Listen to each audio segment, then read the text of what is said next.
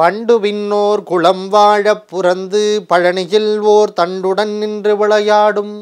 மாண்புடை சர்க்குரவர் கண்டு தொழுது துதிபாடி நெஞ்சில் கருதும் உண்மை தொண்டு செய்வார்க்கு அவன் வேலும் மயிலும் துணை செய்யுமே. முருகா முருகா முருகா. முருகப்பெருமானுடைய திருவுருளை போற்றி வணங்குகிற ஒரு நல்வாய்ப்பை ஏற்படுத்தி தந்திருக்கிற மக்கள் தொலைக்காட்சிக்கு என்னுடைய வணக்கங்களையும் நன்றிகளையும் சொல்லி பழனியிலே வண்ணச்சரவம் என்கிற சிந்தனையை தந்த தண்டபாணி சுவாமிகளுடைய இந்த பாடல் வரிகளை சொல்லி அந்த பாடல் வரிகளை சொல்லுகிற விதமாக முருகப்பெருமானுடைய திருவுருளை போற்றுகிற கொண்டாடுகிற இந்த நிகழ்ச்சிக்கு ஆதரவளித்து கொண்டிருக்கிற அத்தனை பேருக்கும் என்னுடைய வாழ்த்துக்களையும் வணக்கங்களையும் நன்றிகளையும் சொல்லி புத்தம்புது காலை என்கிற நிகழ்ச்சியில் கந்தன் கவசம் என்கிற பகுதியில் உங்களை எல்லாம் சந்திப்பதில் மற்றற்ற மகிழ்ச்சி அடைகிறேன். பேராசை என்பது எவ்வளவு கொடிய ஒன்று என்பதை நாம் புரிந்து கொள்ள வேண்டும். பேராசையில் கலங்குவது நியாயமா முருகா என்கிற தலைப்பிலே அருணகிரிநாத பெருமான் கந்தர் அனுபூதியிலே ஒரு பாடலை பாடியிருக்கிறார். அந்த பாடல் இது.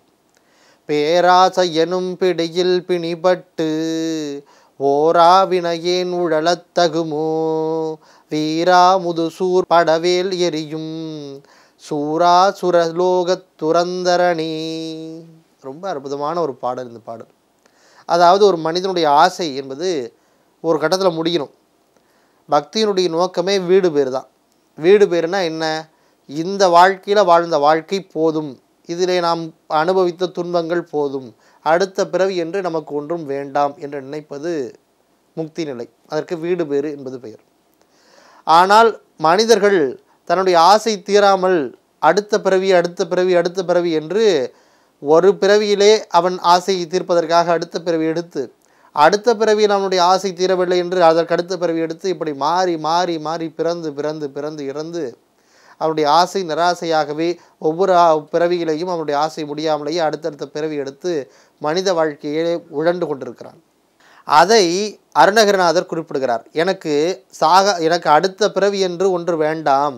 எனக்கு இந்த பிறவி மட்டுமே போதும் எனக்கு முக்தியை கொடு முருகா என்று முருகப்பெருமானத்தில் கேட்கிறார். நான் இப்படி போன பிறவியில் ஆசைப்பட்டு திரும்ப அடுத்த பிறவி எடுக்கிறேன் அடுத்த பிறவிக்கு இந்த பிறவியில் ஆசைப்பட்டு அடுத்த பிறவி எடுக்கிறேன் இப்படி ஒவ்வொரு பிறவியாக பிற பிறந்து பிறந்து பிறகு இறந்து இறந்து இப்படி ஒரு வாழ்க்கையை வாழ்ந்துட்டுருக்கிறேனே இது எனக்கு வேண்டாம் எனக்கு முக்தியை கொடு முருகான்னு சொல்லிட்டு அதற்கு ஒரு உதாரணத்தையும் சொல்கிறார் நீ நினச்சா எனக்கு முக்தியை கொடுக்க முடியும். எப்படின்னா சூரபத்மன் என்கிற ஒரு அரக்கன் தான் அவன் என்னை விட பேராசையுடையவன்.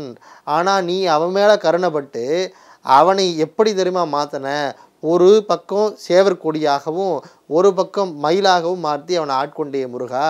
ஒரு கெட்டவனாக இருக்கிற சூரபத்மனுக்கே அவனுடைய பழைய கோபத்தையும் பழைய ஆசையும் தடுத்து உன்னுடைய வேளால் அவனுக்கு அருள் புரிஞ்சு அவனுக்கு அடுத்த பிறவி இல்லாத ஒரு நிலையை உருவாக்கி உன்னோடையே வச்சுக்கிட்டே முருகா.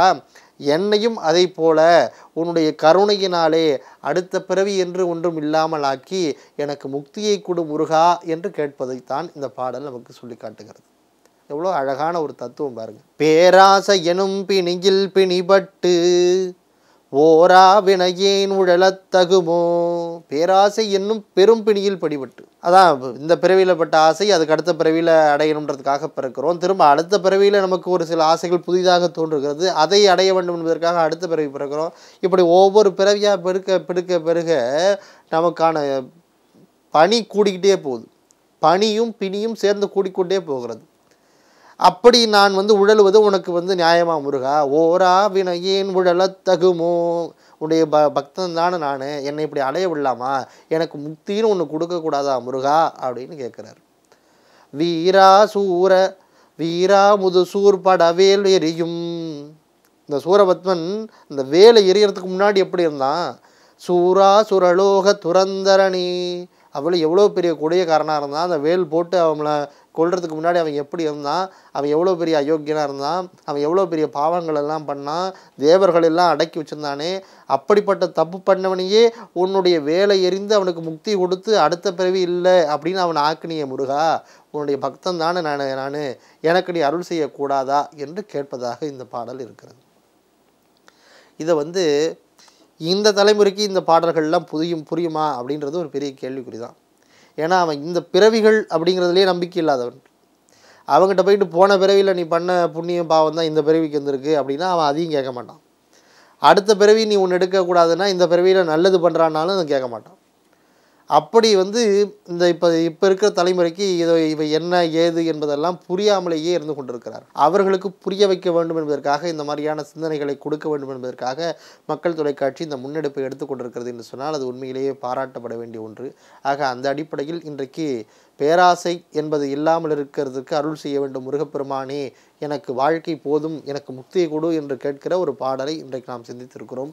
பேராசை எனும் பிணியில் பிடிபட்டு ஓரா வினையேன் உடலத்தகுமோ வீரா முது சூர்படவேலெறியும் சூரா சுரலோக துரந்தரணி என்று சொல்லுகிற இந்த சிந்தனையை நாம் போற்றி வணங்குவோம். ஆரடன் தடந்தோல் வாழ்க அறுமுகம் வாழ்க வெற்பை கூறுசை தனிவேல் வாழ்க செவ்வேளேறிய மங்கை வாழ்க கொற்குடம் வாழ்க ஆனைதன் நனங்கு வாழ்க மாறிலா வள்ளி வாழ்க வாழ்க சீர் அடியாரெல்லாம் என்று சொல்லி உங்கள் அத்தனை பேருக்கும் என்னுடைய மனமொழி மேகலினாலே நன்றிகளை கூறி விடைபெறுகிறேன். நன்றி வணக்கம்.